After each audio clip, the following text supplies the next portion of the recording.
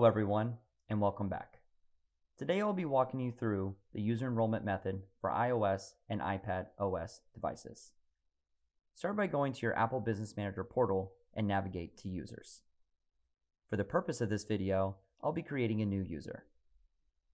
Click the plus icon, then enter the user's details. I recommend making the managed Apple ID and the email address the same if possible. Once you are ready, click Save, then Create Sign In. If you are going to do the enrollment for the user, select Create a downloadable PDF and CSV, then click Continue. After the sign-in is created, click Download. The CSV will contain the user information and the temporary password. Now, we are going to head over to the MaaS360 portal. Please navigate to Users Directory.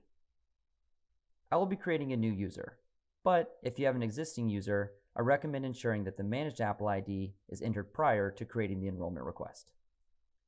Once the user is configured to your liking, find the user and click Add Device. For the device edition mode, select Enroll using iOS user enrollment, then click Send Request. I will now walk you through the process on a device.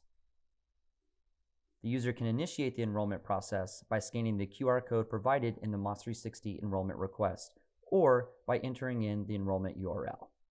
Regardless, the enrollment process must be performed using the Safari browser. Once you initiate the enrollment request, the first screen will be used for authentication. Confirm that the email address is entered correctly, then press Continue. You'll begin the three-step enrollment process as described on this screen. Press Continue when ready. Then, review the terms of the enrollment. Once you are ready, press Continue. The next screen provides a summary of the steps needed to download the profile.